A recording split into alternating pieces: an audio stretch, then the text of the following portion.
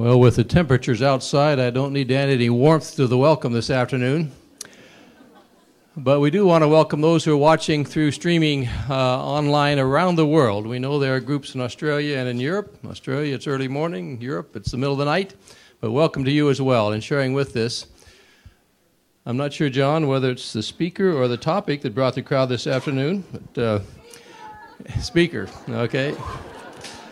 But uh, very cordial welcome to all of you. Uh, I can remember as a kid always wondering why in Bible prophecies it seemed so obvious it was going to happen. They said it was going to happen, yet people kept on going right on until it happened. Uh, and yet the question can be raised are we at that point in history today? So we're delighted to have Jon Paulien with us. Dave Larson will be introducing him more fully, but I just want to extend a warm welcome to each of you on behalf of Loma Linda. Dave? Thank you, Dr. Hart. I would like to add my welcome to all of you here and around the world to the 2015 Adventism and the World Lecture. Our lecturer this time is Dr. Jon Paulien, who is the Dean of the School of Religion here at Loma Linda University. He began his life in New York City and has a love for that city that only its native sons and daughters really had. So from there, he traveled to where he studied with people at uh, Atlantic Union College, and then from there he studied at Andrews University, pastored for a while, albeit teaching secondary school for,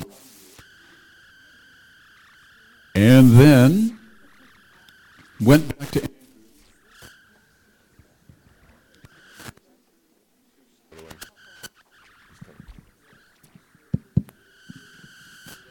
went back to Andrews to study for his master's of divinity degree. Apparently went not apparently eventually went back and earned his PhD there. They liked him so much that they hired him. Interestingly enough, he began as an assistant professor of systematic theology, a not of New Testament, but swiftly they moved him into New Testament, and he moved from assistant professor, associate professor, professor, and chair of the department. All along, he was publishing and speaking all over the world. He has published more than 25 books and more than 200 articles. He has traveled in all the states of this nation, plus Puerto Rico and Guam. He has visited 30 nations around the world. He has presented many, many things on the internet, on the television, and so forth. So, Jon Paulien is a very well known person around the world. His website has thousands of visitors every week, his blog. So uh, he has an influence that reaches well beyond our campus. I might say, though, more personally, that uh, Dr. Paulien is most remembered or thought of as a bridge builder. Every community of faith, including our own, has different pockets of interest and thought and views and value. And it's difficult to move from one to the other because we even sound differently to each other. Uh, but Dr. Paulien is one of those who can move amongst those different groups with credibility. Those who are all things to all persons sometimes have no true self of their own. That is not true of Dr. Paulien. He is able to be authentically in these different groups, not compromising his own convictions at all, but being welcomed by them. Now, that's a very, very unusual gift. It's a talent, but it's also one that he has cultivated over the years and it has served us well. So let's pray, and then immediately after prayer, Dr. Paulien will begin. Dear God, thank you for this lecture series. As we think about it, we think also of Julius Nam, who began this series some years ago. We are thankful for all those who have come out to hear this very important presentation this afternoon that is timely here, but timely in different parts of the world as well. We are mindful that we are having this conversation in a very important week and weekend of this nation's history, maybe even of the world's history. We feel honored and grateful that our speaker this afternoon is Dr. Paulien. Help us to learn as much as we possibly can from him, I pray. In Christ's name, amen.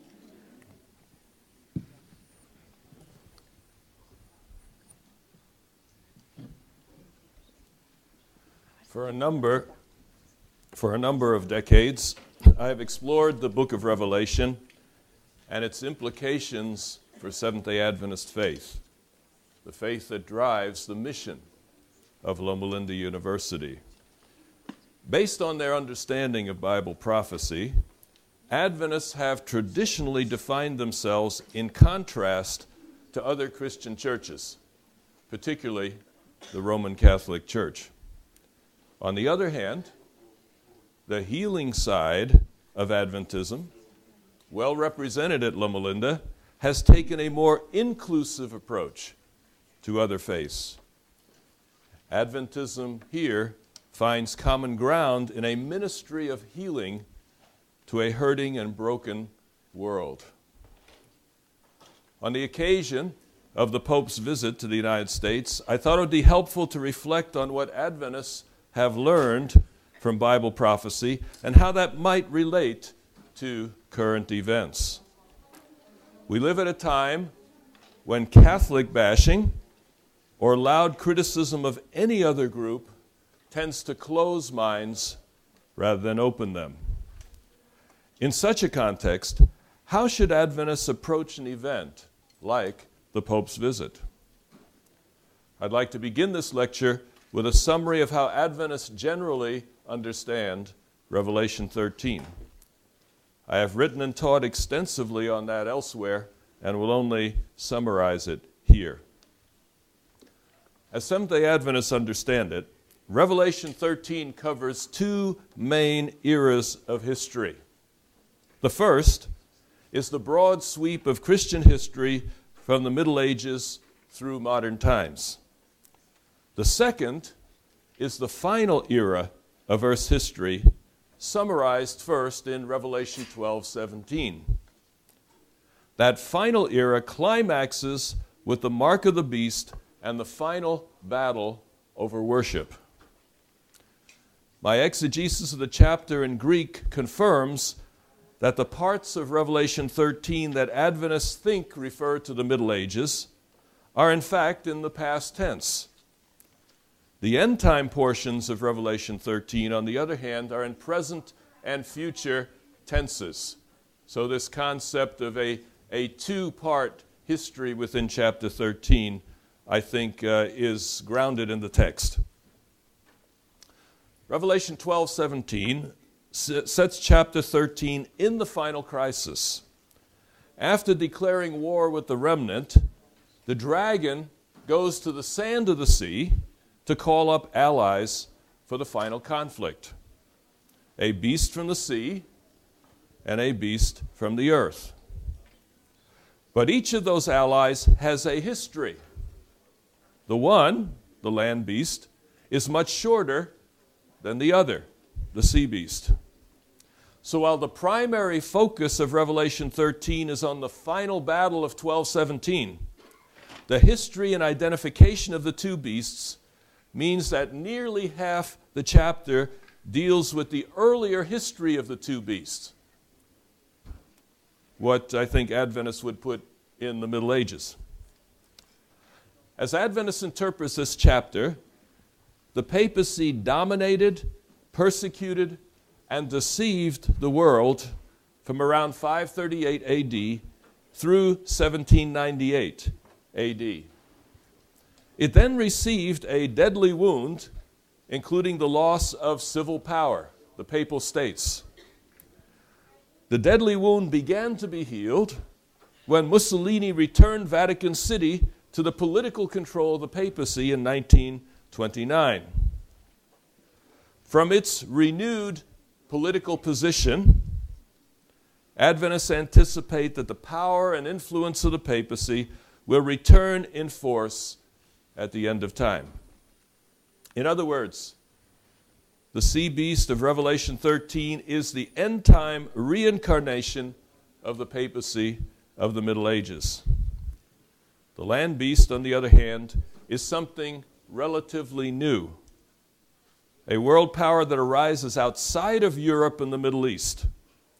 Adventists have understood the land beast to be the United States of America. So, in the Adventist scenario, the United States of America will eventually dominate the world in a way similar to the papacy's dominance of Western Europe in the Middle Ages. The events surrounding September 11 have certainly enhanced the plausibility of such a scenario. America has become a reluctant empire. But reluctant or not, America is the most powerful empire in the history of the world. Even the minor decisions it makes must be accounted for by every nation on earth. The great irony of the Adventist scenario is that the end time enemies of God and the gospel are the United States and the papacy, who together are the face of Christianity in today's world. When you think about it, the average person around the world, when they think Christianity, they think Rome and U.S. today. In the end, Babylon will have a Christian face. If things work out as predicted, the final events will be a surprise to everyone except those who have read these prophecies and probably a few Muslims. At the core of Adventist understanding, then, is a strong critique of its own Christian and national heritage. A big question confronts those who seek to share such a scenario in today's world. If this is true, what do we do with such information? Many Seventh day Adventists not only feel compelled to share it, they often make it the very center and focus of their outreach to the rest of the world. Such motivations can be seen in the mass mailings of the book Great Controversy, recently in Philadelphia, and the infamous anti papacy billboard campaigns in Florida and other places.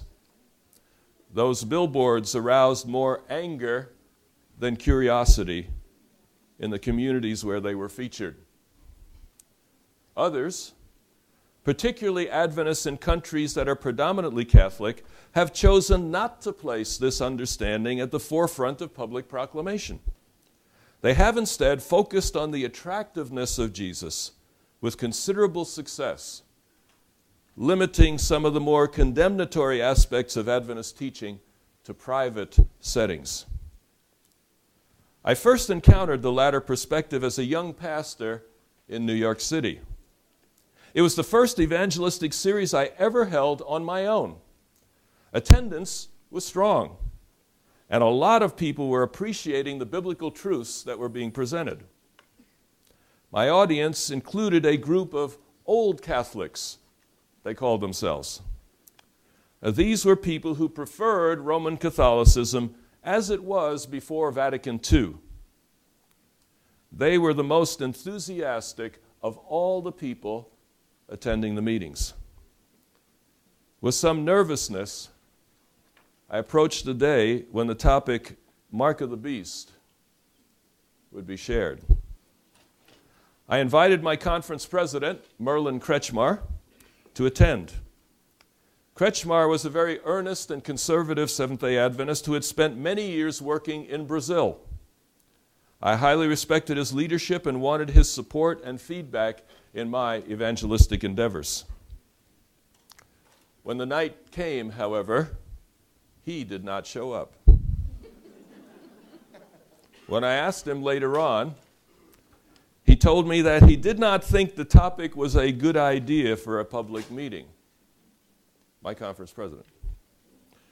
During his time in Brazil, a largely Roman Catholic country, he and others in the church had stopped using that message in public meetings, finding it did more harm than good. But I didn't say anything about your plan, he told me, because I thought you ought to find out for yourself. In some places, they call that mentoring. well, I did find out. The following meeting, the old Catholic group was not there. With some trepidation, I paid them a home visit. The most vocal member of the group spoke kindly to me. He said, Your meetings were such a blessing to us until that night. But your Mark of the Beast lecture was very disappointing. We feel you crossed a line. For one thing, it wasn't good history.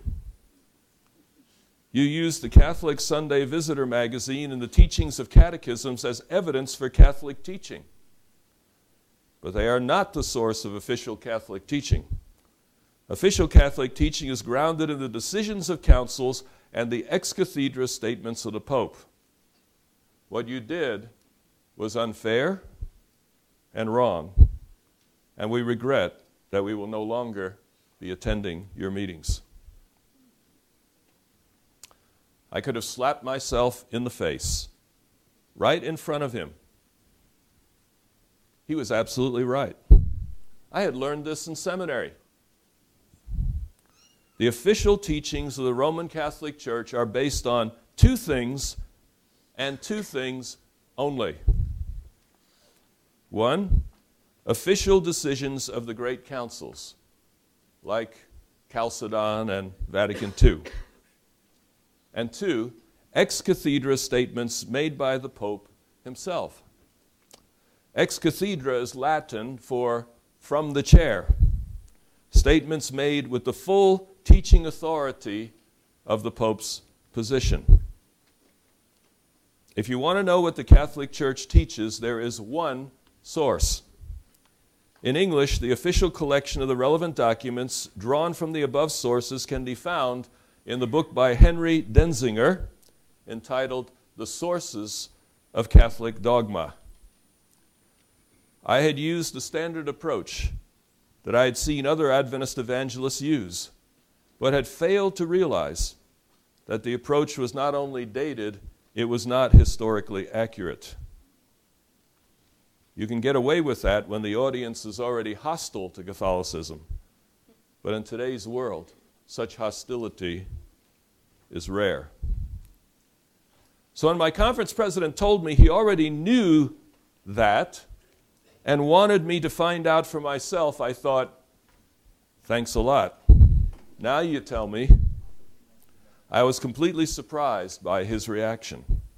Up until then, I had thought that I was spiritually obligated to make the mark of the beast concept front row and center in every public meeting, even though it created some discomfort in me. Something about it had never felt completely right. But I wanted to do what the Lord wanted me to do. So I went ahead and burned some beautiful relationships. Ever since, I've been wrestling with this issue, and I will share the results of that wrestling here today. A small bit of perspective. While the negative messages of Revelation 13 have had central play in much Adventist evangelism over the last century, they are not, I repeat, they are not in the 28 fundamentals. Their function is not at the core of what it means to be an Adventist Christian. Rather, they serve two other purposes. One, these teachings serve as boundary markers at the edge of the faith for those who need them. Many people can deal with a little theological ambiguity in their lives, but for those who need clarity, Revelation 13 can provide that clarity. Number two, this message is an important part of an evangelistic strategy that has been more useful in some times and places than in others. as we wrestle with the usefulness of that strategy in today's world, the question arises how did the message about the papacy become so prominent in Adventist evangelism? A short review of American religious history will be instructive. At the time of its independence, the United States of America was a country made up essentially of people from Northern and Western Europe. They came from Great Britain, Scandinavia, France, Northern Germany. That's my heritage. A minority of Americans were slaves of African origin. The vast majority of non native Americans were Protestant in faith Anglicans, Presbyterians, Congregational, Methodist, Lutheran, etc. These Protestants were hardworking, strict, a relatively sober crowd. During the Irish potato famine of the 1840s and 1850s, there was a strong influx of Catholics, particularly on the eastern seaboard. But the number of Catholics in the country was still relatively small, almost unnoticeable. Toward the end of the 19th century and through the early part of the 20th century, the bulk of American immigration shifted to southern and eastern Europe. Italians, Poles, Czechs, Slovaks, Hungarians, Bavarians, and many other ethnic groups from predominantly Catholic areas began to arrive in massive numbers. The Catholic portion of the U.S. population was 5% in 1850 and 17% in 1920. That's how huge a difference this immigration made. And their numbers were very much noticed by the mainstream. There's nothing new under the sun. We still have immigration wars. Working class Catholics brought with them a love for bars carnivals, and other pagan excesses, at least in the minds of the majority of Americans at the time. This led to a strong anti immigration and anti Catholic movement in the United States. These immigrants were described in newspapers as, quote, Catholic hordes. Have anyone ever spoken of Adventist hordes? I don't, I don't, that doesn't sound too good. All right. They had a way of life that was at odds with the mainstream. A memorable example of this negative press was a political cartoon in the New York Times.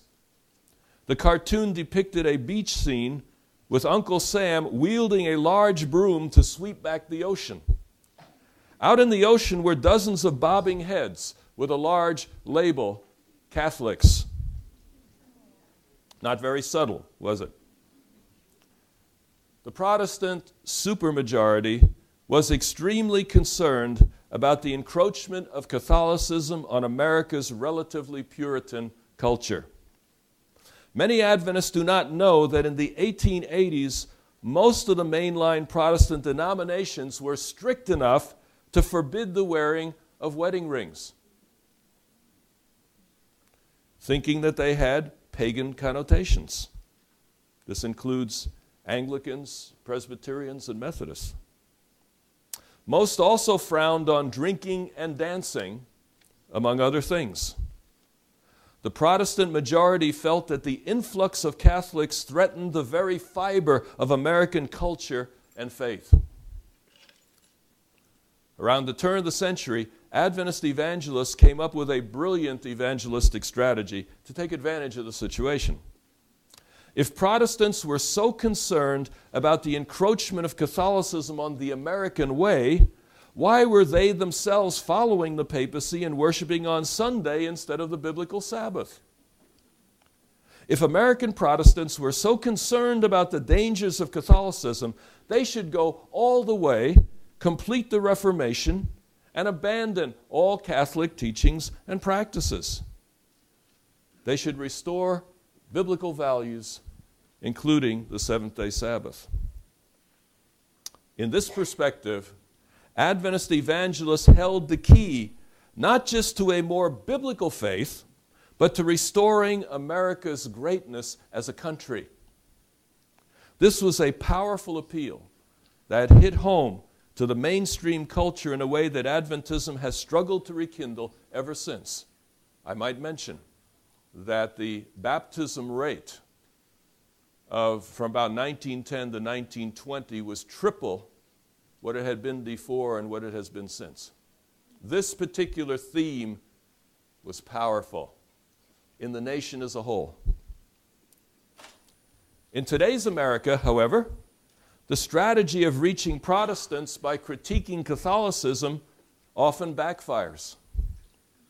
Not only are Catholics offended by this bashing of the faith of others, Protestants, seculars, and postmoderns, who will soon be the majority, are also offended at the strategy, finding it inappropriate in today's world. This raises the legitimate question of when, where, and how to share this critique. Jesus himself said, I have many things to tell you, but you can't handle them now. John 16 12, the JP translation. When it comes to outreach and evangelism, one must use wisdom, discernment, and the guidance of the Holy Spirit in deciding what to share and when. So, what do we do with Revelation 13 in a postmodern world. Today's postmodern culture supremely values inclusiveness and tolerance. Differences in religion are seen not so much as problems, but as opportunities to learn and grow. To express a cold and intolerant attitude toward people who differ with you gives the impression you're not open to learning yourself. And if you're not open to learning, you're not worthy to teach either. This cuts off your ability to persuade and influence others. On top of that, Christianity as a whole is coming under increasingly heavy criticism in media and academia for its behavior over the centuries. In such an atmosphere, Christians of all kinds expressing intolerance of Muslims, Jews, or Catholics are playing into the negative stereotypes of Christianity as a whole. In today's world, evangelism must be attentive to public perception, even when those perceptions come from atheists or non Christians. The Western world is much more diverse than it was a century or two ago being all things to all people, as Paul says, is becoming harder even as it is becoming more necessary. Young Adventists today are painfully aware of the contrast between how they have been taught to view Catholics and their experiences with actual Catholics in real life. There are all kinds of Catholics, just as there are all kinds of Adventists.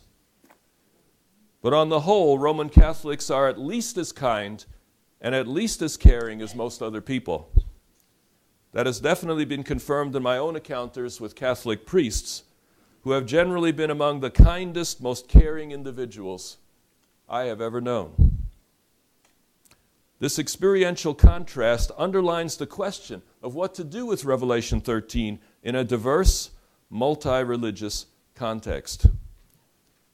I'm not questioning the Adventist understanding of what the Bible teaches, but how and when to use it on a practical level. One could argue that Revelation 13 uses the papacy of the Middle Ages as a poster child for everything that's gone wrong with Christianity in the course of history. But that doesn't justify abrasive prophecy presentations that seem more concerned with shock and awe than leading people to Jesus Christ. There are contexts in today's world where prophecy is not the all purpose entering wedge that it once was. And that's coming from someone who's written a series uh, and published it. It may at times do more to offend people than to save them. In light of that, why would one want to share startling and uncomfortable truths with friends or with strangers? I suggest that several important convictions lie behind the Adventist tendency to call out other Christians from time to time. Though potentially negative, the message of Revelation 13 can be quite freeing for Roman Catholics and many other people. Let me give you four reasons why. Number one, whenever a religious body puts the focus on human beings or institutions, it exhibits a distorted picture of God. As I understand it, official Catholic doctrine still allows or even encourages indulgences, the intercession of Mary and other saints, confession to human priests, and the church as a means of salvation. All these imply that God needs to be bribed or interceded with in order to be favorable toward us. The subtle message is God is not really on your side. You need us to get through to Him. On the other hand, the change of the Sabbath from Saturday to Sunday sends the message that God and His Word don't have to be taken seriously. The church has the authority to shape God into whatever image it wants.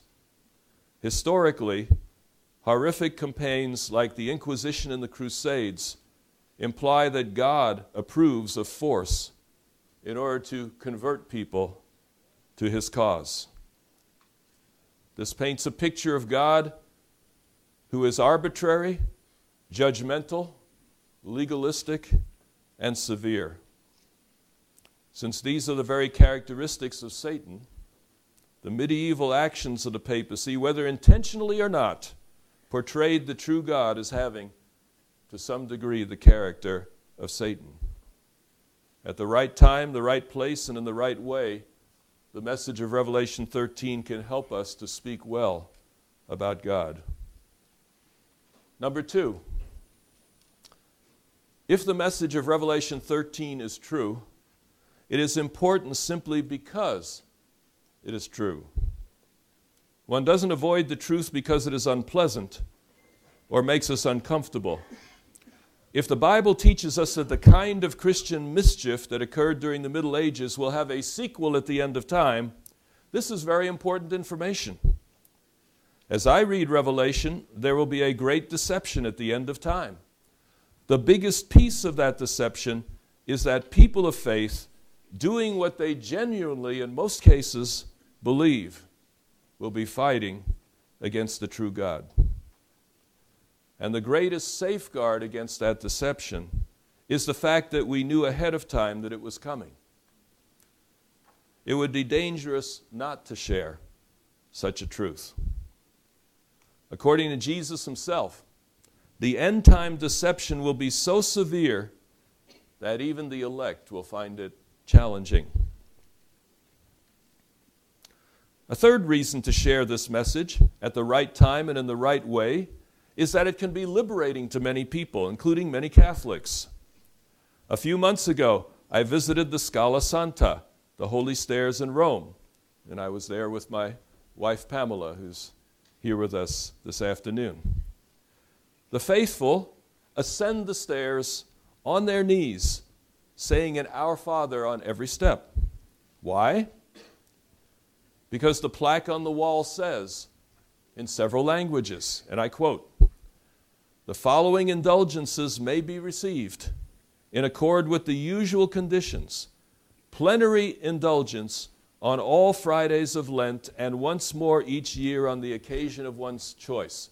For those who don't understand the Latin, plenary indulgence means forgiveness of all sins without limitation. Once a year, at, and once during Lent, and then another time of your choice. partial indulgence on all other days of the year as long as one is sincerely repentant of one's sins. This, in fact, is the very kind of thing Martin Luther and so many others questioned 500 years ago. For some, this kind of thing leads to a slavery of righteousness by works. To others, it paves the way for a do whatever you like permissiveness. And these specific indulgences were ordered by the direct authority of various popes. I received a taste of the power of indulgences for myself when I was young. After a visit to the Scala Santa, I went to Vatican Square to hear the Easter address of Pope Paul VI on April 4, 1969. To my surprise, I heard him say in English that all those present would receive a complete indulgence for all sins, past, present, and future. So I guess, in a sense, I'm covered. While that was a whole lot easier than climbing the Scala Santa on my knees, I have to admit it did not involve any kind of heart commitment on my part. If I had taken it as seriously as some in the square probably did, it would likely have led me to a life of carelessness and self indulgence. Salvation simply by being in the right place at the right time. I do think it is unfortunate whenever a church system reduces the gift of the cross to something earned by actions or money. The public face of Catholicism has softened since the Second Vatican Council. Many Catholic leaders may even smile at the naivete of the masses who still climb stairs on their knees. But the Church has never changed this or many other problematic official teachings. It remains official teaching that salvation comes only through the Catholic Church, and believers can only receive salvation by participating in the sacraments of the church. Those who refuse these sacraments will suffer eternal damnation, no exceptions. Many indulgences are still deemed to be valid. Many of the punishments to be meted out to apostates and heretics are still on the books. By the way, the words apostates and heretics could well include you and me. It is also official teaching that priests have the power to forgive sin and to recreate their Creator in the Mass. That doesn't sound all that different from the Church of the Middle Ages. It can be such a relief when Catholics learn for the first time that Jesus died for them personally, that they can go directly to Him without a human intermediary that they don't have to earn the love of the Father. As Jesus himself said, I do not say to you that I will ask the Father on your behalf, for the Father himself loves you. That is a liberating message for anyone seeking to earn God's favor. Fourth and finally, a good reason to share even unpleasant truth is the fact that Jesus is coming. Oddly enough, since September 11, many Seventh day Adventists have lost a sense of the nearness of Christ's coming. They are losing confidence in prophecy at a time when prophetic events seem closer to fulfillment than ever before. If you want detail on this, read my book, Armageddon at the Door, for a detailed picture of the intersection between Bible prophecy and the kind of events that went down on September 11. What an irony. More and more Adventists today see prophecy as antagonistic rather than liberating. They reason that people have enough fear in their lives already. Why burden them with more by studying scary prophetic beasts? The best answer I can think of is this being prepared for the end of time is better than not being prepared. Jesus is coming back whether we're calm or nervous. The heart of the end time gospel is Revelation 14, and it includes a warning against counterfeits. Adventists must present Jesus clearly. That is the heart of our mission. And many people won't see Jesus clearly or be ready for his return until alternate forms of salvation are exposed. So, that is a fourth reason for sharing such a message, even though it might not be popular to do so. At this point, some of you may be tempted to think, what does he know about presenting messages like Revelation 13? Academics think they know everything, but what they say often doesn't play where the rubber meets the road. Well, in this case, I beg to differ. It is challenging to share Revelation 13 with an audience of strangers that is unlikely to have a scholar in their midst. But imagine what it would be like to share the traditional Adventist position with a room full of non Adventist scholars in Daniel and Revelation. I have been invited to do so on more than one occasion. A dramatic occasion was a series of dialogues between the leaders of the Seventh day Adventist Church and leaders of the Lutheran World Federation. The Federation provides a loose oversight of more than 100 church bodies in 79 countries with approximately 70 million total adherents. The fourth in a series of week long dialogues took place near their headquarters in Geneva, Switzerland in 1998. It was on the subject of eschatology, how the two church bodies view the biblical topic of the end of the world. Dr. B.B. Beach of the General Conference Public Affairs Office invited me to represent the Adventist Church's position on Revelation 13 and the mark of the beast. When he called me, I think I did say thanks a lot under my breath. I would be facing nearly 10 Lutheran scholars and officials, several of whom were specialists in Daniel and Revelation. In other words, I couldn't get away with the kind of easy deductions that uneducated people might accept. I would have to meet the highest standards of logic, reason, and biblical exegesis. What I did not expect was the deep sensitivity among the Lutherans against Catholic bashing of any kind. The same group had had a similar series of dialogues with the Vatican and could put the faces of real people into play when Adventists talk about the papal system. It is one thing to talk about the other in the absence of the other. But when the other has a face and a name and a shared love for Mozart, the same information can come across pretty lame. It is very important in a dialogue not to hide unwelcome elements of one's faith. Dialogue is for the purpose of understanding rather than persuasion and you can't understand what you don't know.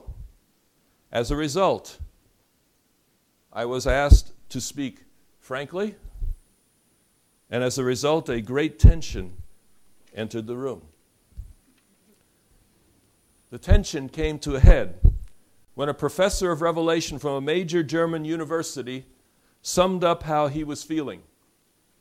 And I quote what I hear all of you telling me is that I am okay because the mark of the beast is an end time concept.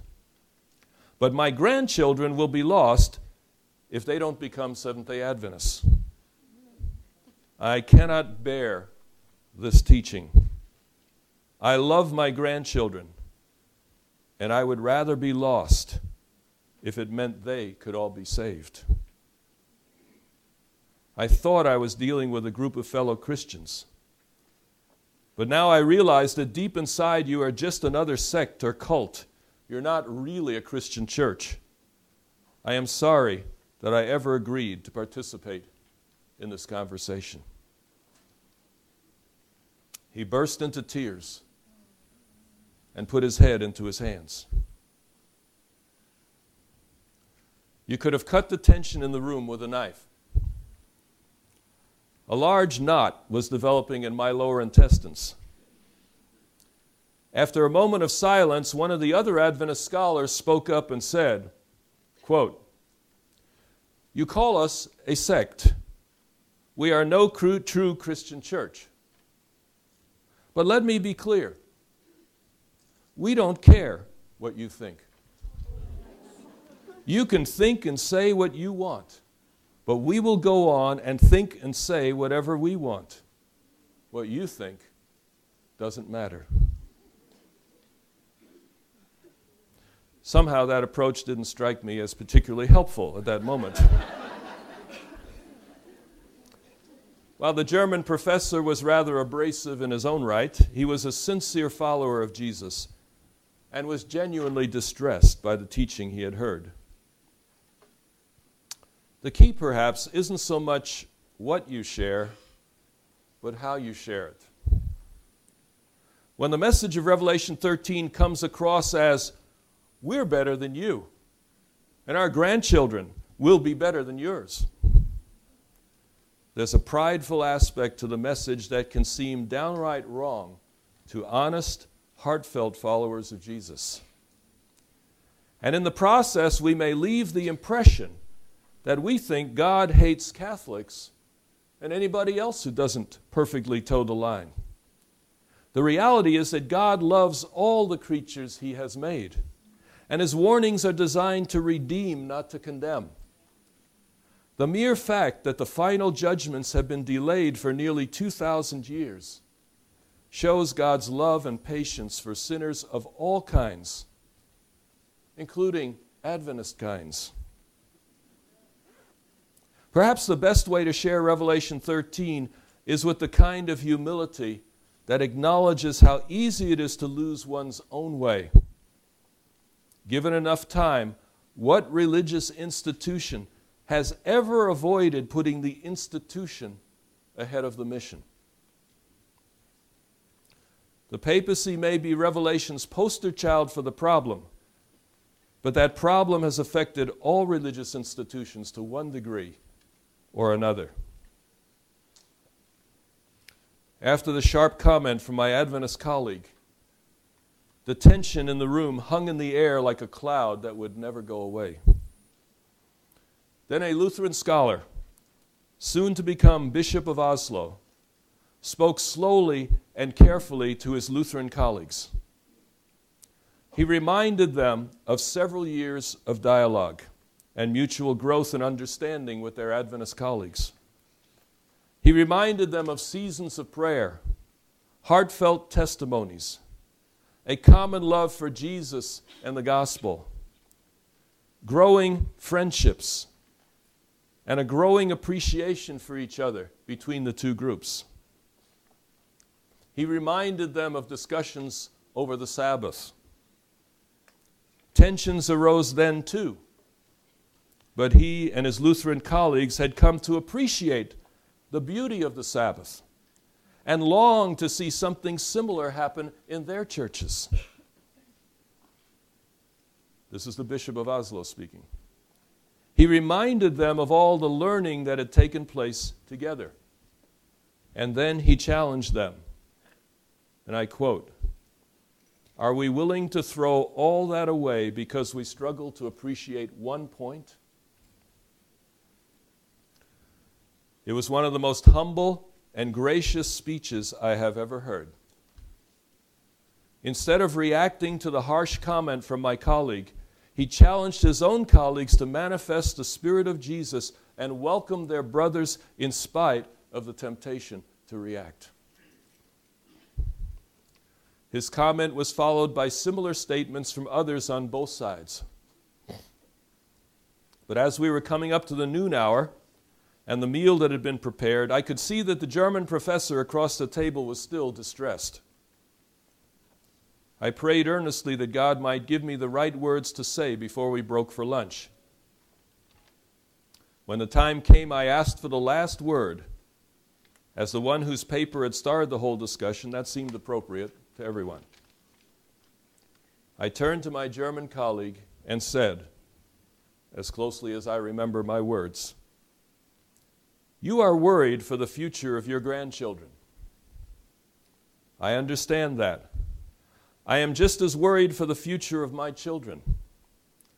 We wish we could make the right decisions for them, but we realize that in the end they will have to make their own decision for or against the gospel. We can only watch and pray. Adventists do not believe that the message of the mark of the beast will only split other churches. We believe that it will split us too. We expect many among our ranks to end up on the wrong side at the end. Your grandchildren and my children will face the same decision. Will they follow the radical faith of Jesus no matter what the cost? Or will they take the easy route and follow the path of convenience and worldly approval? In that day, Adventists and Lutherans and Catholics will face the same choice.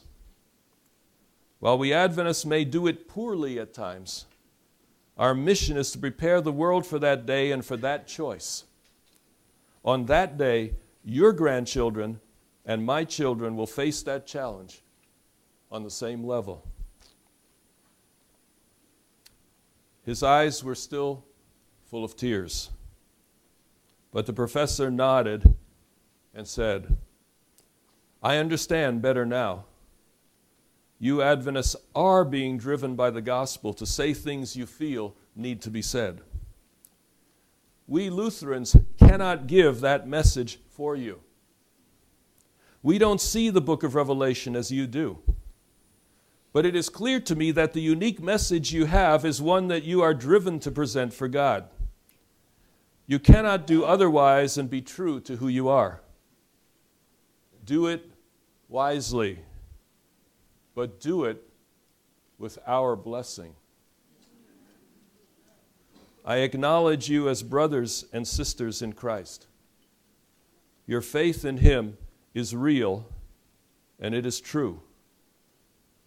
I understand that now. What a beautiful and gracious spirit the Lutherans extended to us that day. Whenever I talk about Revelation 13, I want to remember my Lutheran friends and their love and concern for us. I want to do it in the same spirit of love and grace toward those who will hear the message as the Lutherans did toward us. Christians come in many stripes, but they are on a shared journey of discovering and recovering truth. Adventists have certainly taken the lead in recovering many truths, but the task is not done, and our witness is not perfect. While we must remain true to Scripture, we also have much to learn about kindness, grace, and mercy. And other Christians have sometimes been our best teachers in those areas. When it comes to the mark of the beast, the key may not be so much what is said, but how it is said that counts. Well, how should it be said? Christianity as a whole is coming under heavy criticism in the media and in academia. I'd have to say that as a group, Christians have earned it in many ways. Many Christians ignore the criticism or seek to minimize it because much of it comes from postmoderns, atheists, and non Christians. While the best way to clean a house is from the inside, not the outside, our comfortable familiarity with the inside of the house may blind us to things that are obvious to those who visit from outside. People with indoor pets or hygiene issues may be used to certain unpleasant odors that assault strangers the moment they enter. when outsiders think of Christians as arrogant, self important, and overconfident, we are unwise to simply ignore the char- charges or respond in defensive ways. We have many things to learn and many, many to unlearn. In light of this, I am intrigued with the approach to Revelation 13 by the Voice of Prophecy evangelist Shawn Boonstra. He shared his approach in a recent article in the Adventist Review. I hope I do justice to his position in what follows. Of all Christians, Seventh day Adventists are the one significant group that is willing to admit publicly that something is seriously wrong with modern Christianity. We live in a world that distrusts organized religion, that continually seeks to dismantle Christianity and the culture it created. We have a message that answers the general sense that it's a mistake to lay the blame for all the problems of the world at the feet of Islam, for example. The world's biggest problems arise from within Christianity itself. Instinctively, many of the secular people around us know this. Such people are desperate for Christians who will honestly admit that Christianity, as it has been practiced, is rife with problems. Boonstra recommends that we should be like Daniel and accept corporate responsibility for the sins of Christianity. When we describe the sins of the Middle Ages, we can say, Do you know who this is? This is us. This is how the church behaved during the Dark Ages. These are the crimes of the Christian church, and it is about time that we admit it. This approach doesn't ignore the truth, but it wipes away the sins of Christianity as an excuse for people to avoid the Bible. It also takes the blame off God for our horrific behavior and puts the blame where it belongs on us. It takes away the us against them mentality and opens the door to honest examination. One thing we've learned from the war on terror is how ready people are to trade liberty for a little security. The whole conspiracy mentality feeds on the sense that there's something clearly wrong with government. The public is increasingly slow to trust in any form of government at all. Our world seems to be spiraling out of control. We can't control the economy. We can't control the terrorists. We can't control the climate. We don't trust in religion, and we don't trust in government. Sounds like the table may be set for the biggest religio political tyranny of all time.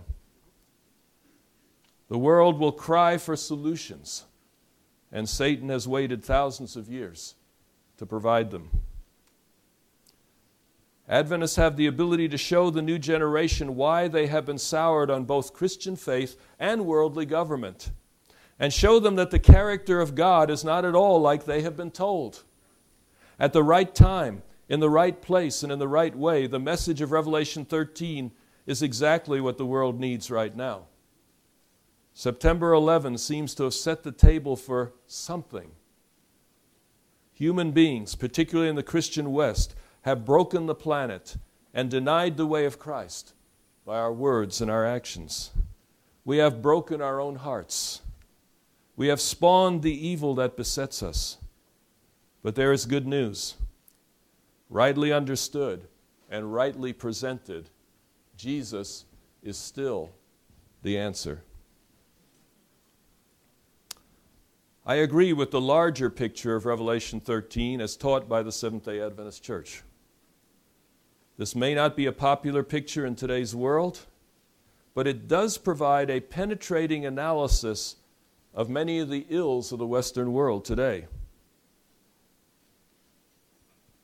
And it's also what is how today's world is the source of much conflict between nations and religions. So, although the message has its problematic elements in a postmodern world, it is a message that cannot simply be discarded, but needs to be shared at the right time, in the right place, and in the right way. The message about a broken Christian system did not come to Adventists out of pride, arrogance, or self importance.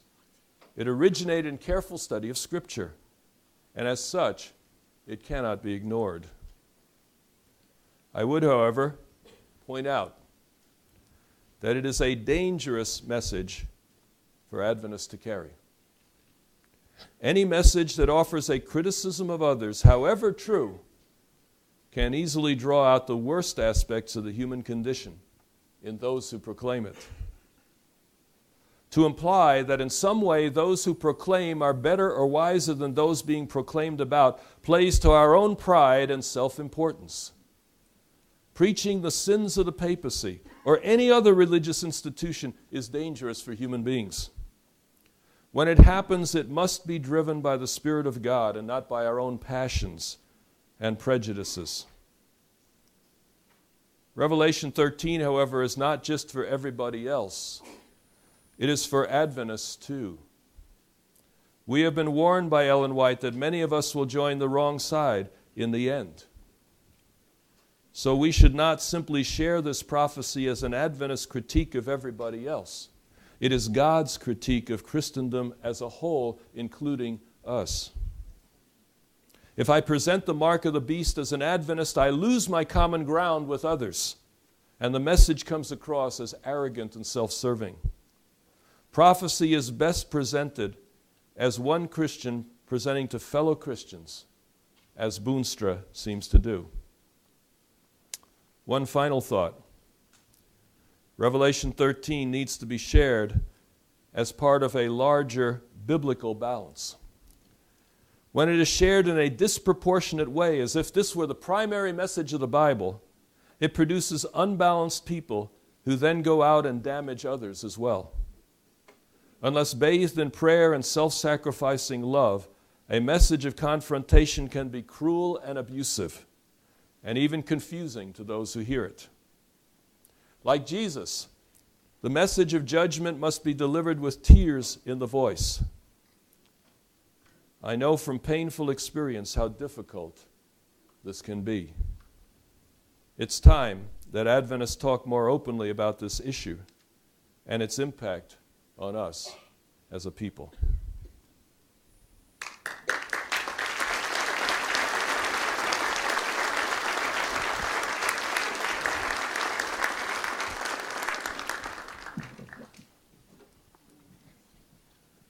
Thanks to Dr. Paulien for that very stimulating paper.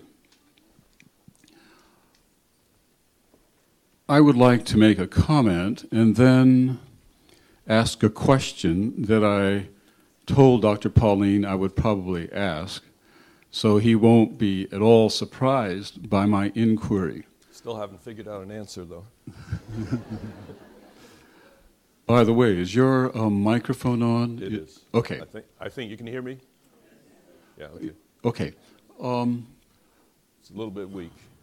okay, my comment, which I didn't have a chance to share with Dr. Paulien beforehand, uh, and maybe I should have, but my comment is I cannot say what Elder Boonstra apparently said, namely that Adventists are the only ones who openly acknowledge the faults and failures of Christianity.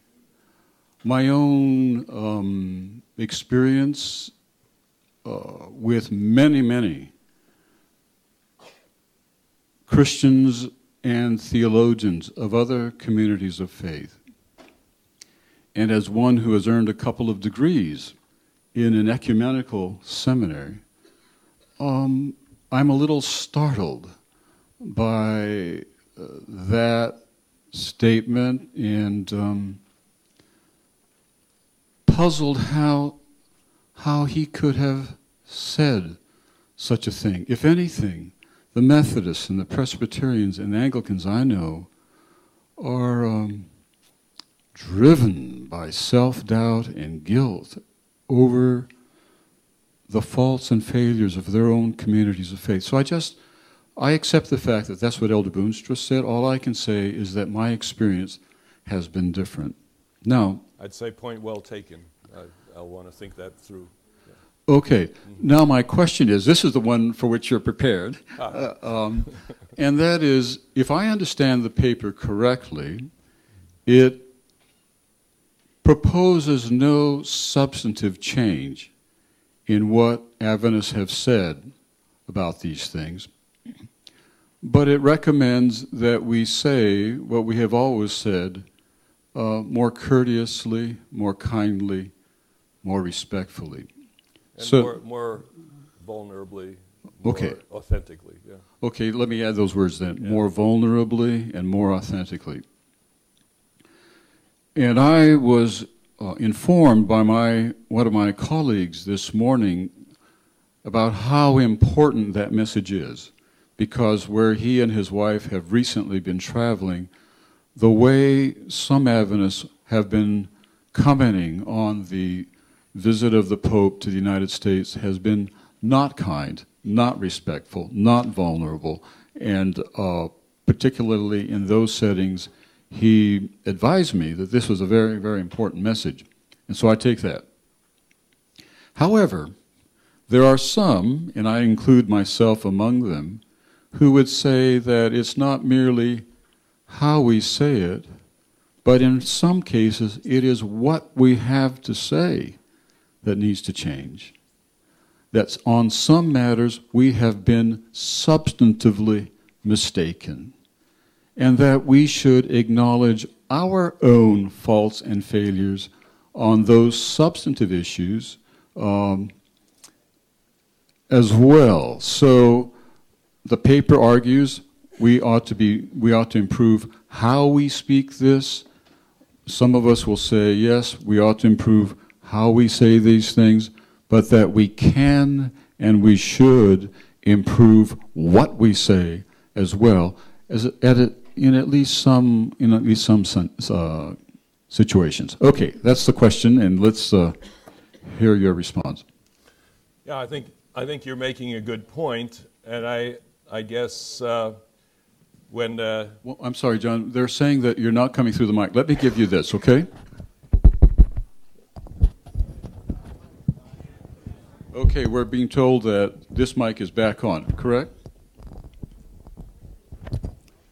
how, how are we doing? Is that a little better? Is this better? I I'm fine with this if people can hear me. Okay. Apparently these hello. Apparently these mics have a bit of a contrast, so let's let's use the same type. Um, I, I, guess you know it's a, it's a good point uh, as you make it as you as you go through the paper. There are a new number of critiques, um, uh, particularly in that story that I told in Brooklyn. I mean, the entire sermon that I gave was incorrect, and that sermon is still being preached. It's still being published, still being used around the world. Okay, so I, I, I probably didn't, uh, didn't emphasize that enough. For me, it is really, really critical that we be fair in whatever we say about anybody else.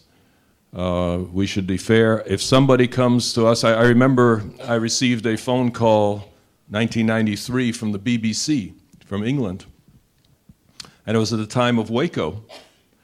And uh, the fellow began with a very charming question. He says, What is it about Seventh day Adventists that breeds people like this? and I was, of course, at great pains to say that David Koresh's views were not my views or not the views of any other Adventist I'd ever met, uh, you know, and uh, make some distinctions there. If you want to know official Adventist teaching, you go to the 28 fundamentals. Now, it doesn't mean all of us agree with every word or phrase in them. That's part of the dynamic that churches think and grow together and so on. But the 28 fundamentals are at least a, a, a body of material that says this is what we all agree on. Uh, if you go to what some self supporting preacher says on an internet site and represents as Adventism, uh, you may not be representing the church fairly. So if you want to talk about us, talk about the 28 fundamentals. Maybe talk about our behavior and practices if they haven't been up to our beliefs. Uh, but don't paint us with the brush of uh, you know somebody who's who's at the fringe. Uh, I think we owe the same to our Catholic brothers and sisters. Uh, Catholic doctrine is the decisions of councils the ex cathedra statements of the popes, those are all brought together in a book that everybody who knows Catholic doctrine knows about that book, and it's important to consult. Um, I think there's plenty to critique in there. but uh, let's, let's do it fairly and, and, let's do it honestly. And there are many Catholics who would critique uh, the same kinds of things, I think, that we, we would see in that book. So I, I think you're making a good point. I'm not endorsing everything that Adventists say, or even Adventist evangelists say. There are a lot of things that make me cringe. But if you want to talk about Revelation 13 and the, and the Greek of Revelation 13 and so on, I have shared those things. The Lutherans did not dispute my exegesis of Revelation 13. In fact, they said, Would it be okay if we teach this to our people? It was one of the very professors who was most harsh in the critique at the same time. You know, I really like this, this, this exegetical framework. I, I really want to use that. Would that be okay? And I said, Well, yeah, it's it's, it's there, it's all yours.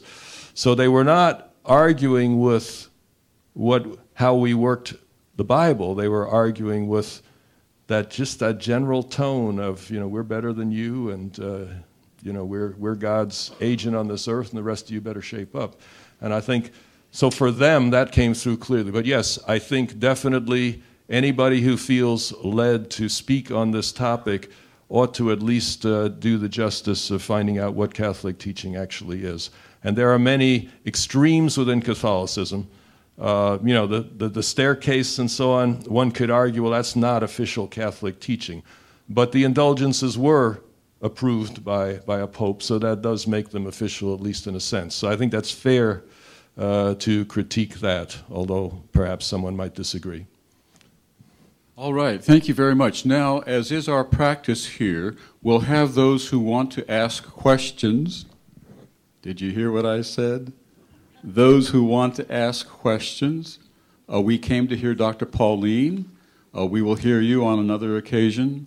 Uh, ask your questions uh, so that we can hear as much as we possibly can uh, from Dr. Paulien. And if I if I seem a little harsh and cutting you off, if I think you're becoming homiletical, um, I ask for your indulgences in advance. Okay. Now, so you need to come down to the microphones.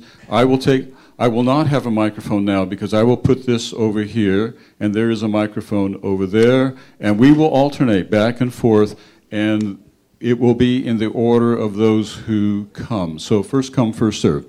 Who has the first question or comment? Over here.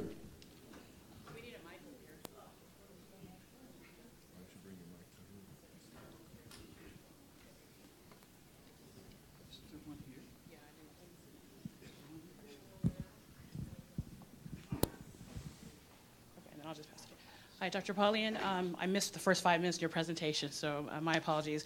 But my question is, in general, and I don't, I don't speak from biblical exegesis. I'm just a child of God who reads the Bible, fourth generation Seventh day Adventist on my mother's side. I love this church. I love the message. I've lived here in the North American Division. I've lived in the what used to be called the Euro African Division. So I've met European Seventh day Adventists and African Seventh day Adventists. So my question is, um, and as well intended, with all due respect, but as well intended as your speech was, and I listened to every word that I could right here. Don't you feel that rather than preach an end time biblical Seventh Adventist prophetical message that we have all come to hear about or know what's going on as far as the popes, the Jesuit popes' entrance in America, haven't you just preached an ecumenical, a world council of churches? Let's all get along. Let's not talk about Revelation 13, Seventh Adventist prophecy, but let's just kind of Lutheran World Conference. We're all going to be one, and maybe maybe the Adventists are, are wrong. I feel like I think you, though it was well intended, I think it did the opposite effect. So that's my question. Thank you. I appreciate uh, the spirit in which uh, you asked that. And uh, let me uh, share with you a statement from Ellen White in volume six of the Testimonies, beginning with page 121, that speaks to how we should say things like this. The Lord wants his people to follow other methods than that of condemning wrong, even though the condemnation be just. The work which Christ came to do in our world was not to erect barriers and constantly thrust upon the people the fact that they were wrong. Now, by the way, this message was sent to A.T. Jones, who was one of our prominent evangelists and renowned for his, his strong emphasis on this subject. So she's speaking specifically to the subject this afternoon here. He who expects to enlighten a deceived people must come near to them and labor for them in love. In the advocacy of truth, the bitterest opponents, got anybody in mind? In the advocacy of truth, the bitterest opponent should be treated with respect and deference. Treat every man as honest. We long to see reforms, and because we do not see that which we desire, an evil spirit is too often allowed to cast drops of gall into our cup, and thus others are embittered. By our ill advised words, their spirit is chafed and they are stirred to rebellion. Every sermon you preach, every article you write may be all true, but one drop of gall in it will be poison to the hearer or the reader. Because of that drop of poison, one will discard all your good and acceptable words. That's volume 6, Testimonies, page 121 to 123. Because the Bible is at the center of Adventist faith, let me share a biblical text that speaks to the same. Uh, 2 Timothy 2, verses 24 to 26. And this again is the JP translation. The servant of the Lord must not quarrel, but be gentle to everyone, teachable, patient with humility teaching those who oppose themselves, in the hope that God might grant them repentance leading to the knowledge of the truth, that they might come to their senses and escape the trap of the devil, having been captured alive by him to do his will. You see, as I understand that text, there are people who are imprisoned and unable to see light or change views. There is only one way they can be unlocked from that prison, and that is a miracle of God. So the question is not, should we say this and that thing and that's going to change everything? No. The question is, we should only say that which God can use to reach other people. And according to Paul, at least, there are five things that will help people uh, to be unlocked from their prison by God, and that is not to be quarrelsome, to be gentle, teachable, patient, and humble. To be otherwise may actually prevent people from being willing to accept God's intervention. So I do not apologize for the approach I took today. I have sought to ground it in both the Bible and in the Adventist uh, writings.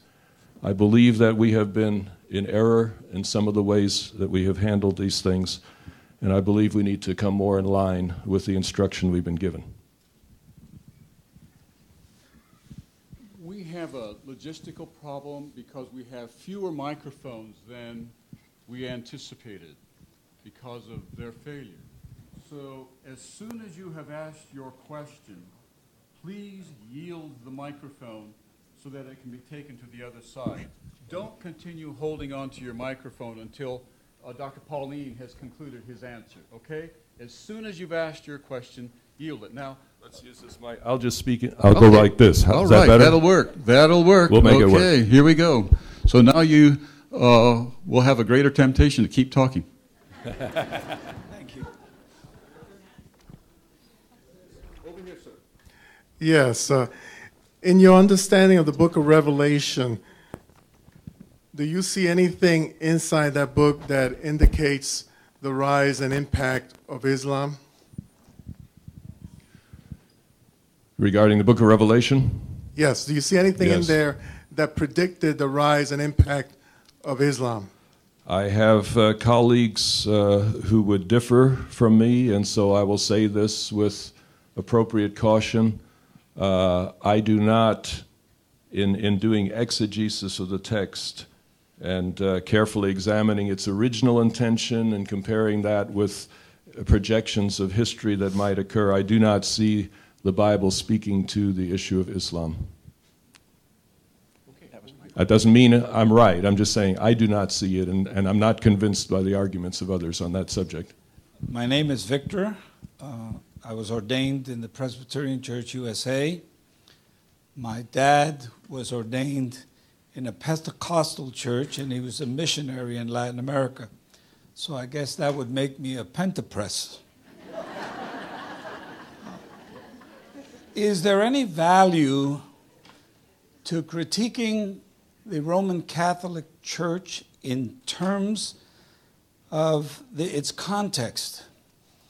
You've given uh, some comments about the study of the Roman Catholic Church theology diachronically, but is the church different in different continents? I'm, I'm, I'm asking that question because my dad's uh, statement, uh, statements and my observation of his ministry was that in Latin America, to be Protestant is not so much that you're for Protestantism of whatever denomination you are, but you're anti Catholic because in Latin America, the Catholic Church and the government is one, sometimes theocratic, sometimes they get along, but it's mainly a church that is rich because it's a church of the rich and those that control.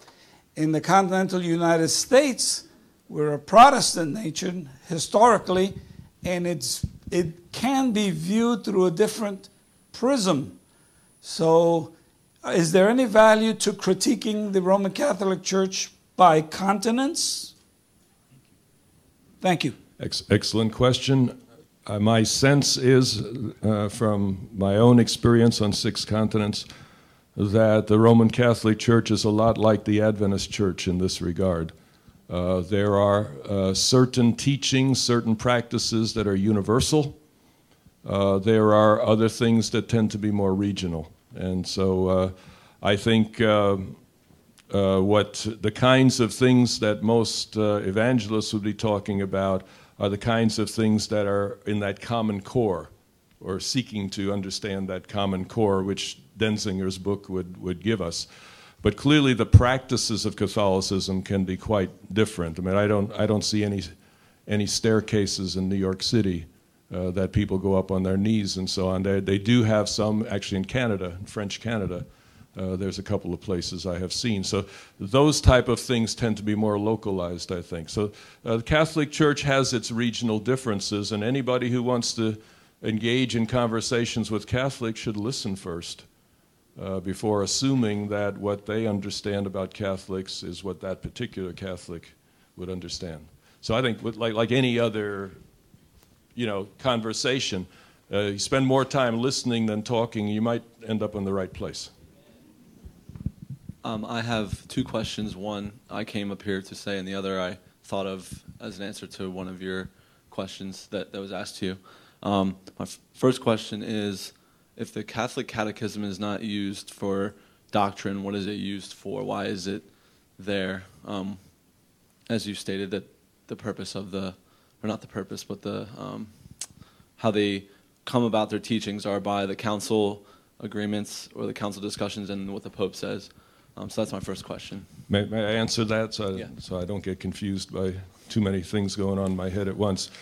Um, the Catholic Catechism is uh, is kind of like Doug Batchelor, in the sense that it is uh, neither you know is voted by an official body. There's nobody that that vets Batchelor's sermons, you know, and says these these have the approval of the World Church. Uh, he is attempting to to explain to people uh, what Adventists believe uh, but the Adventist church is not going to be hostage if he doesn't get it quite right. Okay?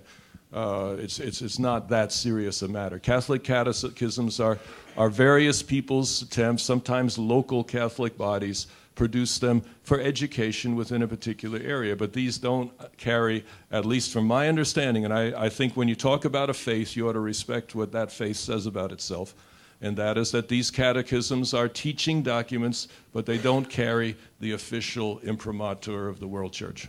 Thank you. Oh, and then just really quick. Um, so you, you stated that you don't believe that Islam is mentioned at all. Um, nothing foretold about prophecy. I heard a prophecy seminar by Tim Roosenberg on Daniel 11.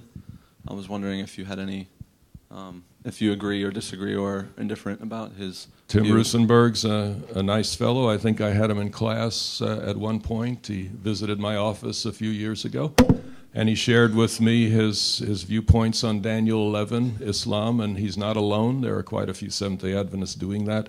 I listened carefully, and uh, uh, we both regretted that I had to tell him. I says, I don't see any light in what you're presenting. Yeah, so first I want to say thank you very much for it's a super intellectual um, conversation today. I came an hour each way because you have these type of events, and I really appreciate them. Um, the second is you, in particular, you seem like an incredibly caring and um, kind of calm individual. And today, especially people my age and a little bit younger, it's very sarcastic, very biting commentary. So I appreciate that as well.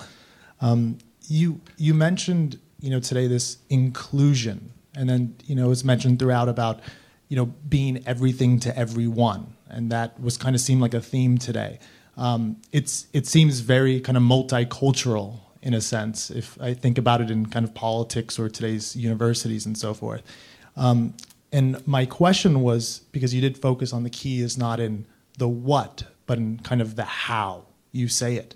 And my question is with between human beings, there are going to be fundamental differences in the what, that no matter how you say it, it is fundamentally at odds.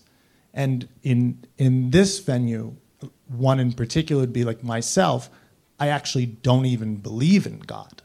So when you say something to the extent of we need to be careful how we say it and we shouldn't be so overly critical, I'm curious your stance on the what in this dialogue, say between you and me, would be the what is you and the rest that believe in your what would be in heaven.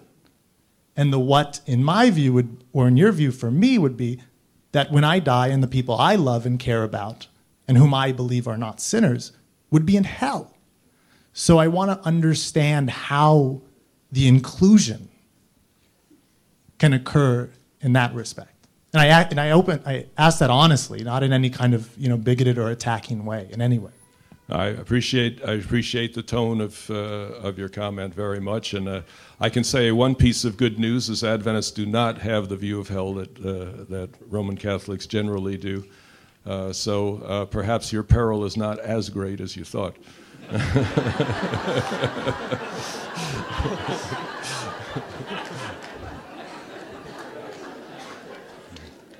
and and from from the little engagement that we have had.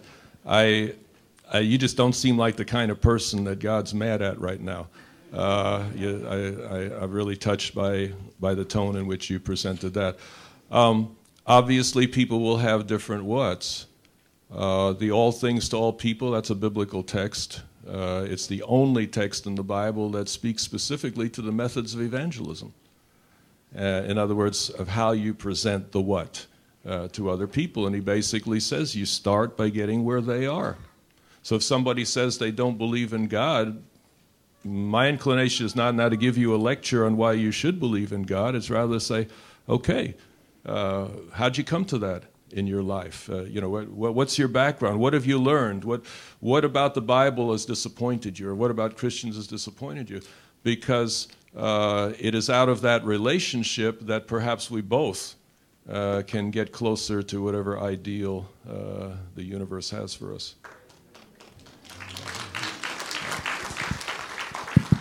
Am I on? Um, good afternoon. Thank you, Dr. Paulien, for the for the um, for the opportunity for the for the preaching that you do today. I'm kind of nervous right now. Maybe God can help me. My name is David Lucas. Um, I'm not originally from here. I was born and raised in uh, Indonesia, the biggest Muslim. I want to assure you, I've never bitten an Indonesian, so you're safe. yeah. Um, there are so many things that I would like to ask you, but hopefully I can just bring it to only the major, and maybe I can I can go out of record with you uh, to ask some details. Um, the revelation, uh, the, the, the, the revelation is one of my, my favorite um, book in the Bible that I've been following since I was a kid in Indonesia because we are the biggest Muslim country in the world. Let me give you a little, little bit uh, um, uh, background of my point of view before I give it to the other uh, uh, uh questioner. and um, when I was a kid, I do have a chance to see Reinhard Bonnke when he came to Indonesia. He is one of the the the preacher that can the the, the original uh, that can go to Africa, baptize like millions and millions. Besides uh, uh, uh, Benny Hinn. So when I was in the big stadium in Indonesia, I have a chance to see him face to face, and I, I confront him that I, I, I bring the, the, the, Bible that's not the, the person who says God, God, God, just Jesus will go to heaven. I confront him. I told him that when you do this healing, it's fake. I'm telling you, I got a chance. I don't know how God lead me. But now when I'm in, in, in America, in, I'm in Loma Linda, I don't feel that love anymore because to me that some, don't, don't, don't, don't get me wrong, I'm not judgmental. God showing me that within the, the, the Adventist community, I don't feel the love. I work in a healthcare professional. I'm very close to uh, Crystal Cathedral because I work in the healthcare professional. I close to Dr. Um, um, uh, um, I forgot the name, but uh, yeah, I'm so close with the TBA and everything. And then uh, you know Saint Joseph, there's the and Saint Jude that they have the, the, the Orange County Archbishop. When I'm close with the, with the Catholic people, I feel the love. I don't know why. Maybe there is a deception there. I don't know why. But um, when when when when I'm, I'm, I'm reading the, the, Revelation again, that I know that that the seventh day is the, the is the, the, the truth. But why why do you think I, I feel that kind of feeling? You know, I mean, if, if God really really really uh, with us, I mean, why have I, I feel think you deception? may feel that feeling because we're so busy convincing the world about the truth that we don't have time to love them. And uh, as I said, the, the message of Revelation 13, rightly understood, is a critique of, of all who would take the name of Jesus, but yet uh, undermine the character of God by their words or their actions. Um, if, if the picture of God is the most important thing, then how we behave is as important as what we say. Uh, truths are caught more than they are taught and people will become like the evangelist. And if you become like the evangelist and the evangelist is hard and hateful, you'll become like that. And that's not the spirit of Jesus, it's not the gospel, it's not the New Testament. So it's very, very important, I think, uh, that, and uh, you know, I, I, appreciate your testimony. I look up, uh, if you're in Garden Grove area, look up Sarah Colon at the Garden Grove SDA Church, you'll find someone who will love you and really last quick question before help you to to see more of that picture. Last one, if I can say, I just lost my brother on May 16, and I blame God, and I don't have any any faith. And back then, and then the next day when I look at the news, Ron Halvorsen died at the age of 78. So I'm kind of like, whoa. And then a month, uh, uh, uh, uh two weeks after that, the vice president, uh, the, the, son of the vice president died. So ever since that that happening, the death of my brother and all uh, I don't really, I'm, I'm, I'm so, I'm so, I'm so mad with God, but, but when I see, when I see all this, this, this, this, how do you call it, last event, I know God is coming. So, what is this all about? Ron Halvorsen has been preaching about the revelation for a long time, but, but he never seen Christ is coming. Thank you. Okay, thank you very much. Next question. Okay. Let, let me just say, it's much better to be mad at God than not to care. Okay. Well, um, I want to say something. I'd like to hear your response to it, Dr. Paulien. I'm not going to take your advice because I'm going to be very uncareful in how I say this. I am an Adventist fan of Pope Francis. Okay. Now, I, I admire him because he actually uh, lives out a lot of what you've been telling us today. And he takes responsibility for how, you know, for much of the checkered past of the church and things that have happened more recently that have uh, caused it to be questioned by large numbers of people.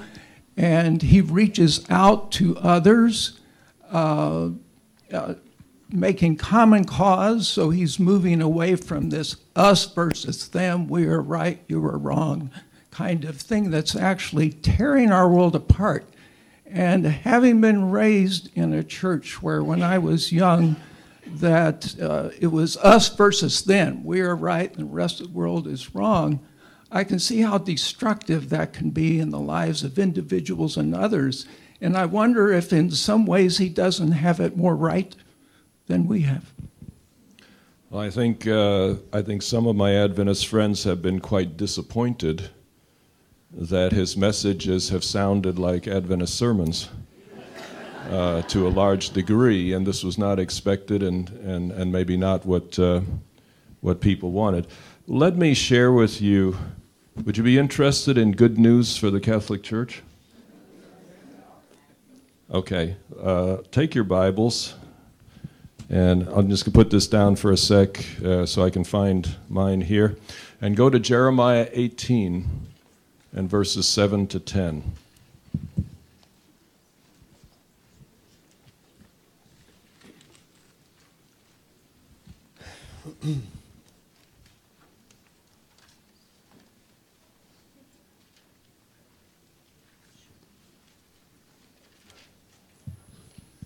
So, this Jeremiah 18, verse 7, uh, this is not a narrowly contextual text. This is a broad statement from the mouth of Yahweh regarding how he does prophecy.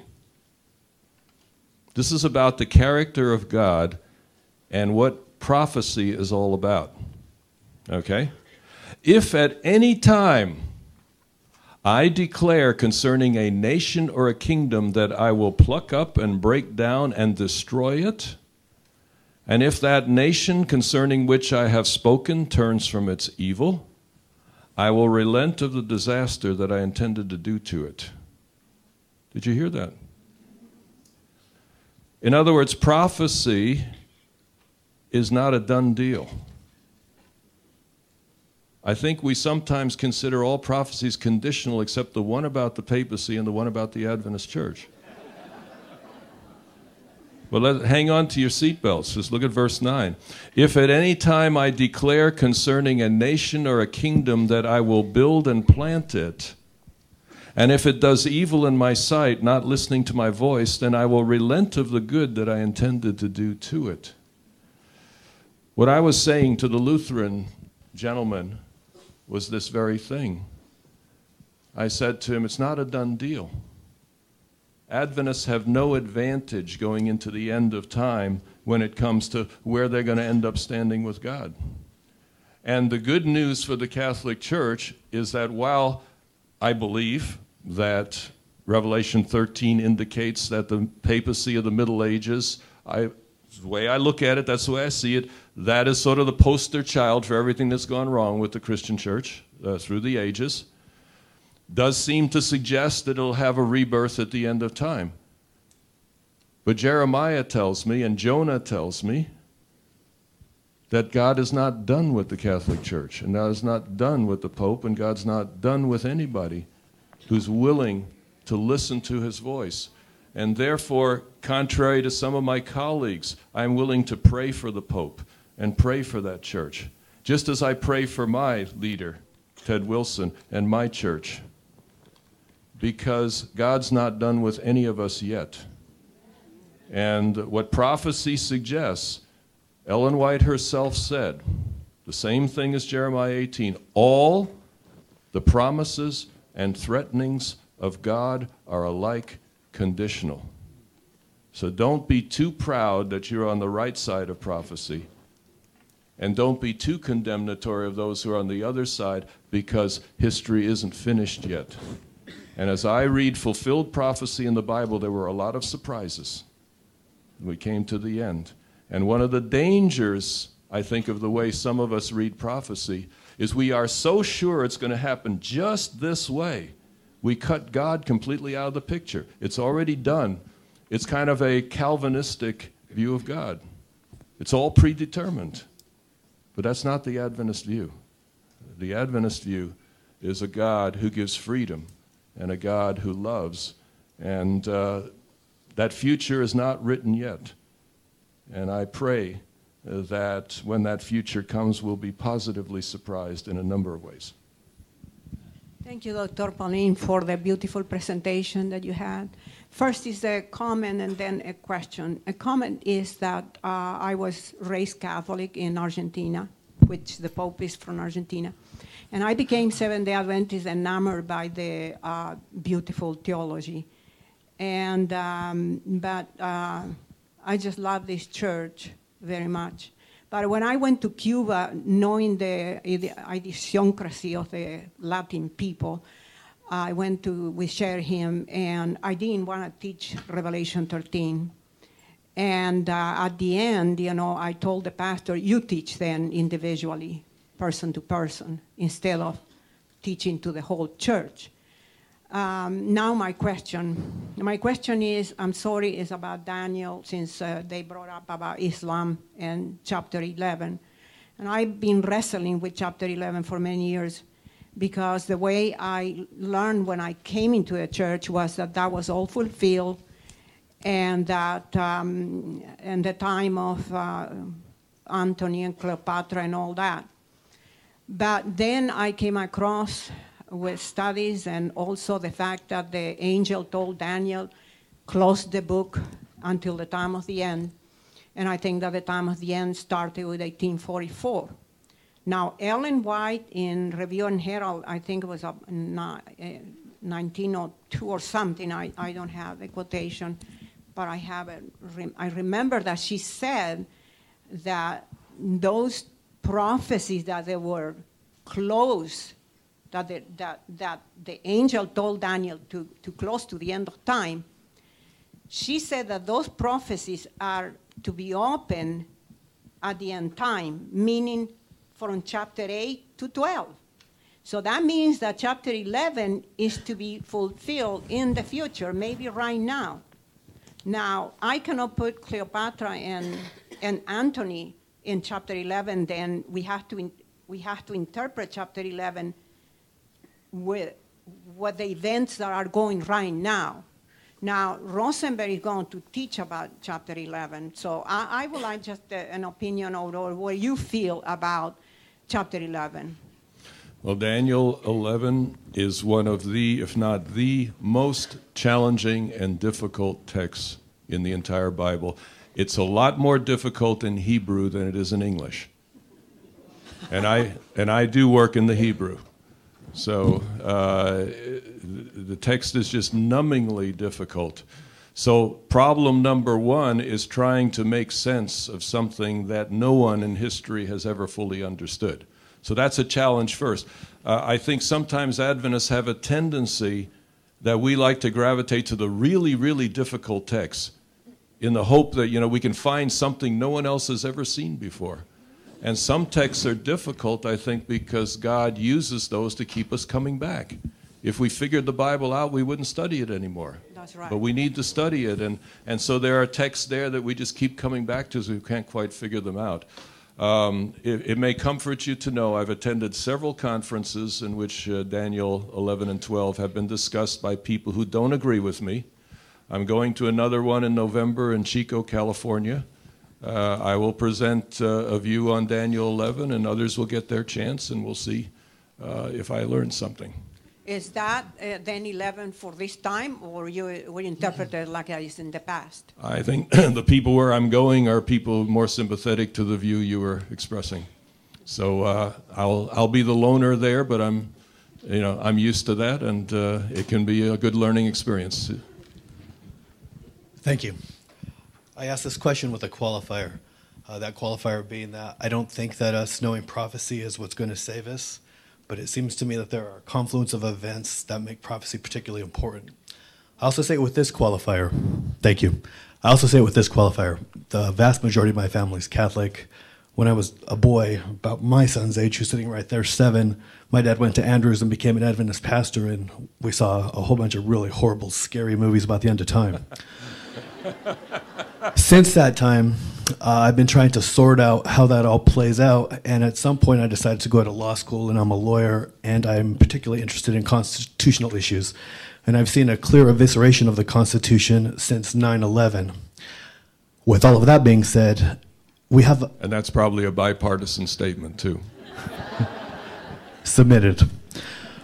With that being said, we have a Jesuit pope. The Jesuits, as I'm sure you know, have a distinct uh, origin.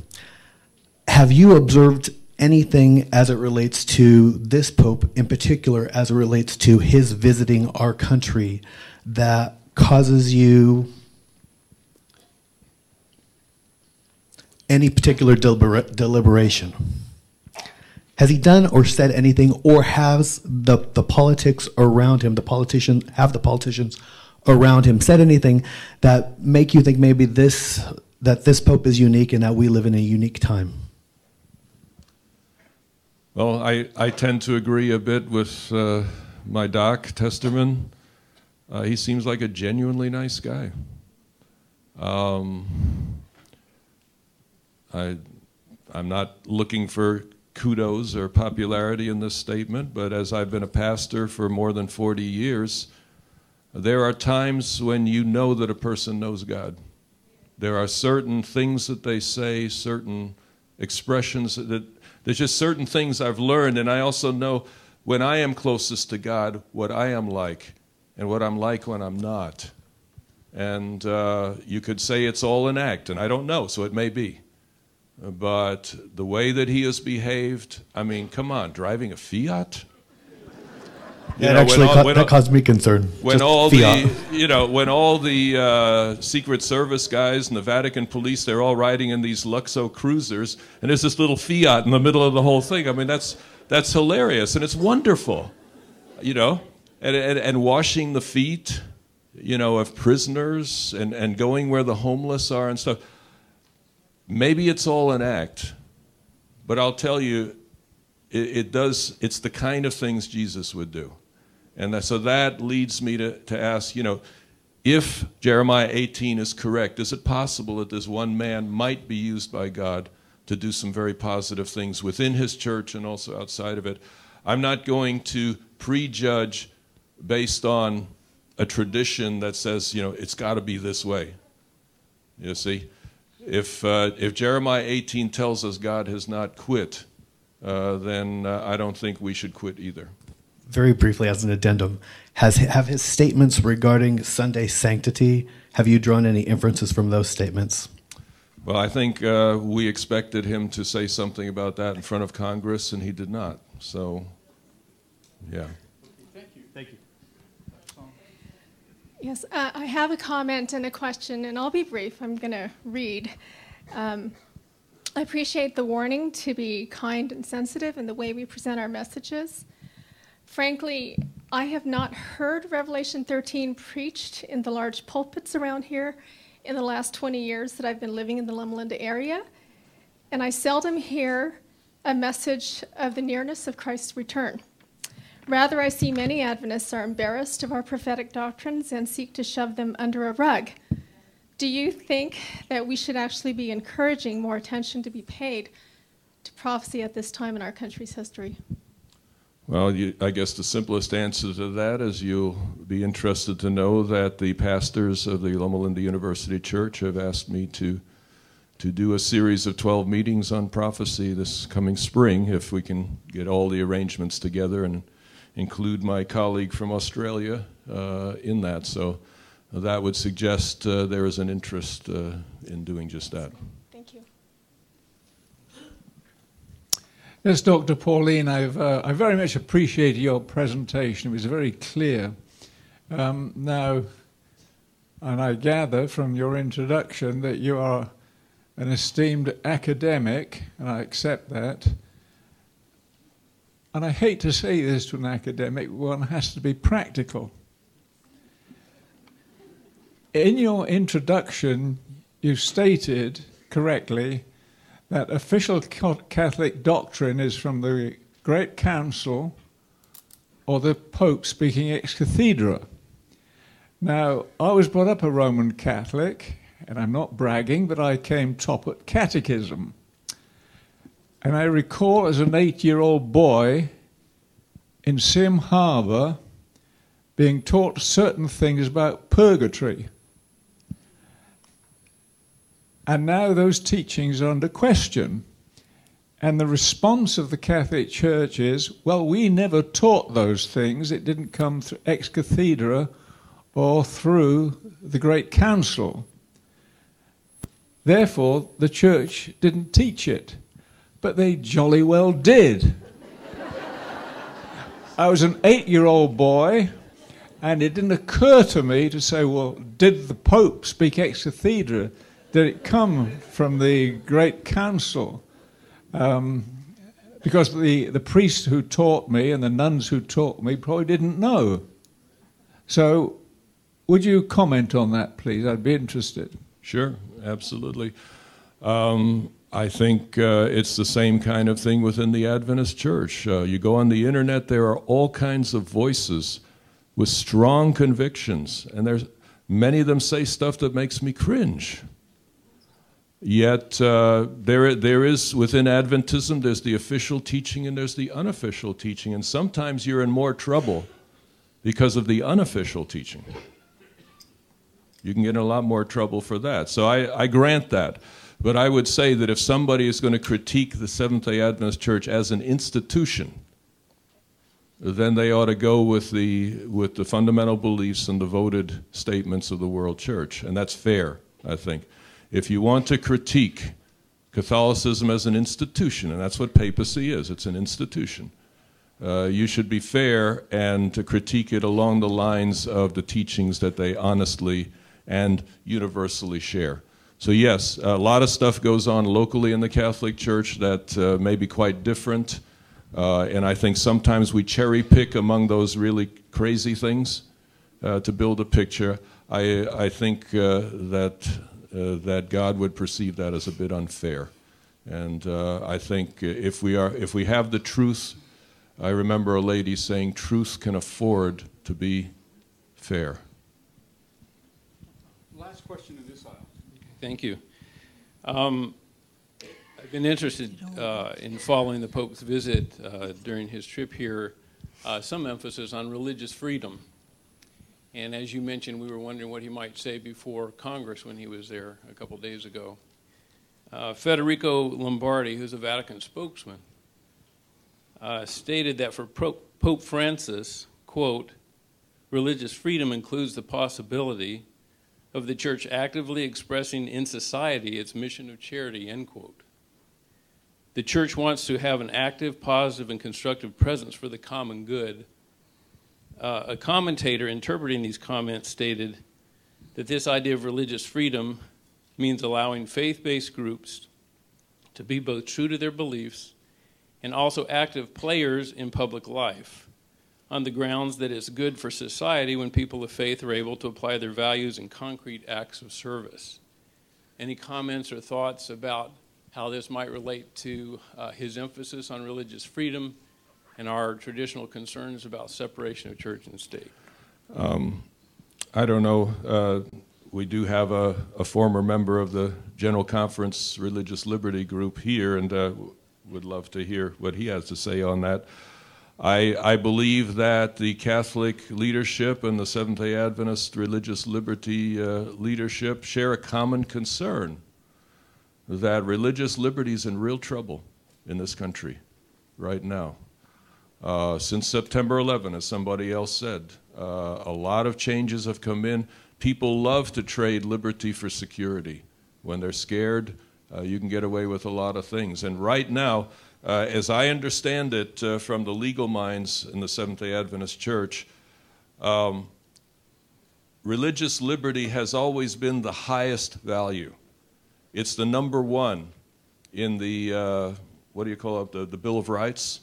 The number one amendment to the Constitution is religious liberty because the feeling is that's the highest of all liberties. If you, if you don't respect that, you won't respect any other.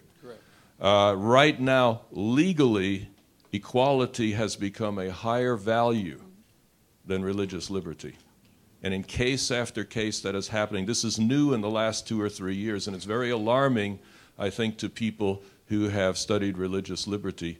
Uh, on that issue at this time, Adventists and Catholics have a lot uh, of concern in common.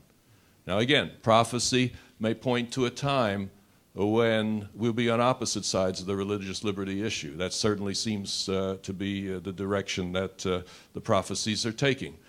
But at this time, uh, I think people of faith in the United States together are concerned about the trend, the legal trend uh, within the society right now. So, uh, uh, in that type of situation, you see, when, when Great Controversy was written, and there's about seven editions of Great Controversy, so uh, Ellen White herself had more and less to say uh, about the papacy at different times. In fact, there is an interesting uh, statement here. she says, We may have less to say in some lines in the future regarding the Roman power and the papacy. So, I mean, she herself recognizes that, that this is contextual. The degree to which you speak it depends on the time and place uh, and, and the circumstances. Um, you know, we are, we are at a time that is very different from 19th century America. That was a Protestant country. Uh, it was a very biblical based country. It was a very spiritual country. It cared deeply about religious values. Um, today, it's a much more diverse, much more secular country. And uh, in many of today's issues, uh, Adventists have more in common with some other parts of Christian faith that we used to critique more strongly. We have more in common with them in relation to the secular society. And uh, so people wrestle with how do you apply the scriptural principles in a setting that's very, very diff- different than the way they were applied 150 years ago. I think there's been more change in the world in the last 100 years than in the previous 6,000. And, and, and we are wrestling to understand just how these principles apply uh, in a new context. To simply say, nothing has changed, say the same things you said 100 years ago and you're fine, uh, doesn't seem to be working as well as, as people would like. So uh, um, I think, uh, as I said, the, the sermons that the Pope gave, I didn't hear them all, but the one that I heard and then the, the, congressional speech, it was kind of like, wow, um, you know, that sermon from somebody else would be welcome in an Adventist church. So both right and left extremes are interpreting what he said in opposite directions. But I think we should be fair, take exactly what he is saying at face value until proven otherwise. Last question. I just want to say that I really wholeheartedly agree with your lecture, sir. And if I could say it myself, I wouldn't say it as eloquently or scholastic, scholastically, but I would say the same things if I could. I agree with you. And I also believe that we should love. We serve a God of love. God is defined as love, and we should love everyone. Christ told us to love our enemies. We should love anyone, and I don't think that we should have a spirit of hatred or ugliness about anybody. And I do believe we should pray for the Pope. I've been praying for him because there's so many crazies out there. I hate to see him even going around with the crowds. You never know what's going to happen. And we don't know anybody's heart. We cannot judge anyone's heart. Look at Saul, how he turned to Paul. God turned him 180 degrees around. So we don't know the future. We, we do have some prophecies to help us. Those are for us to stay close to God and to be ready for his coming, I believe. Now, the other thing is, it wasn't mentioned, but Pope John Paul did apologize for all the wrongs the Catholic people did in the past. He said he was sorry and he apologized, and I think we should forgive and forget. Okay, that's a good point. Let's hear Dr. Paulien's response. Thank you very much. You're welcome. Well, I'm I'm reminded that both that in Scripture there's a definition of family that's very interesting. Uh, it uses the term brother, uh, you know, sort of masculine back then, but that word brother really meant everybody. Uh, and Paul, in a number of places, says, My brother is the soul for whom Christ died. And the question is, for whom did Christ die? And that is the group that we should pray for, work for, and as far as possible, love the way God loves. Yeah, I just wanted to ask one thing. Uh, she mentioned it, uh, but I'm not clear, and I'd like to know if you can uh, tell me. Germany committed a great crime during World War II and has spent the last 70 years in penance for it. I mean, they actually have laws against speaking against Jews and so on because, and, and if you watch, they've been punished thoroughly and thorough uh, penitence. I haven't really seen that in the Catholic Church, and that's what concerns me from the top. I'm, I'm not going to try to guess which pope might do something that we think he's going to do, but has there ever really been any genuine long penitence for a long persecuting and abusive past. I'm not aware of any. Can you tell me if I've been, you know, impressed wrongly? Yeah, I think the Holocaust is more of a recent uh, atrocity.